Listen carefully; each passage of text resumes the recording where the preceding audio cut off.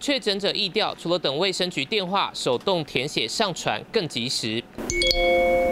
但有确诊者收到新北市这一封疫调讯息，提到当事者 PCR 阳性确诊，在家中等待时要想想密切接触过谁，得详尽确实填写表单内的疫调资料，附上这串网址，但点进去没几秒出事了。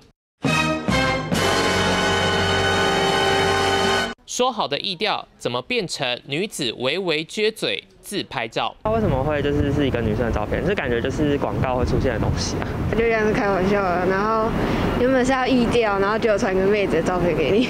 意调简讯怪怪的，原来是缩网址出包。睁大眼睛看正确版网址，倒数第三个英文是大写 I，但有民众拿到的错误版倒数第三个英文是小写 L，就是这么细微的差异，意调变自拍照，应该就贴错了吧？可能再查查看有没有别的资讯。资料来源有点怪怪的，对，然后没有什么公信力。电话很难打进去，那这样你就要卡在这个。